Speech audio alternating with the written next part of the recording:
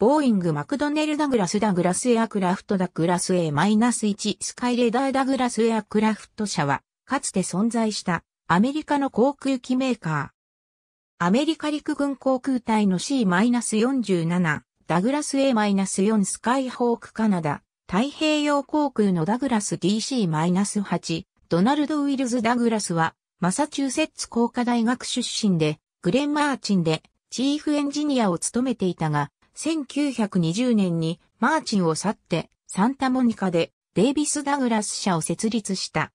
1921年7月には共同出資者から事業を買い取って社名をダグラスエアクラフトに変更した。早くも1924年にはダグラスの航空機が世界初の世界一周飛行を行って社名が広く知れ渡った。当初ダグラスはアメリカ海軍向けに雷撃機を製造していたが、さらに雷撃機をベースとして、偵察機や民間航空便向けの機体なども開発し、5年もしないうちに毎年100機以上の航空機を製造するようになった。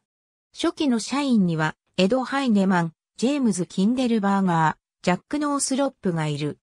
1920年代後半には、軍用機市場での地位を確保し、水陸両用車市場にも乗り出した。また、サンタモニカのクローバーフィールドへ工場を移転している。サンタモニカの工場群は広大だったため、メール係はローラースケートを使って車内メールを配達していた。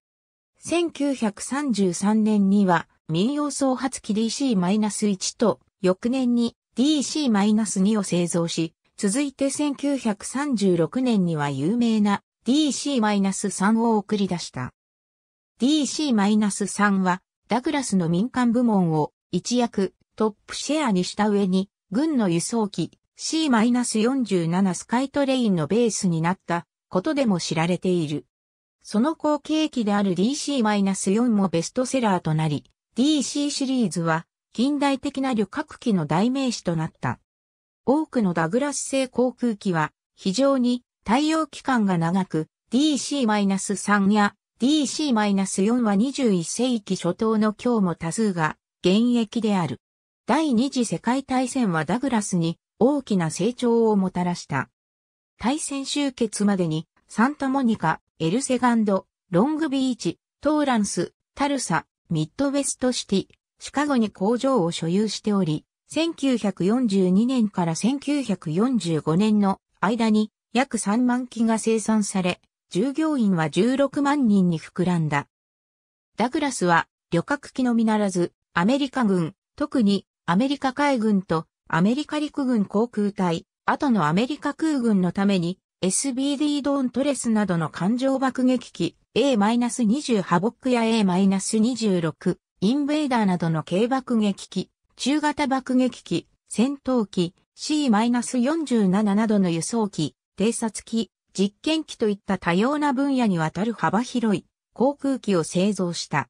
第二次世界大戦中にはボーイング及びベガエアクラフトと共に B-17 を製造。大戦後はボーイングのライセンス下で B-47 を生産した。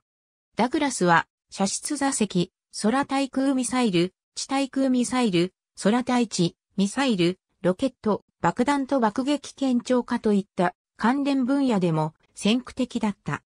1967年は、ダグラスは大型旅客機の DC-8 と、その後、ベストセラーとなった DC-9、A-4 スカイホーク攻撃機の需要に間に合わせるための増産に苦労した。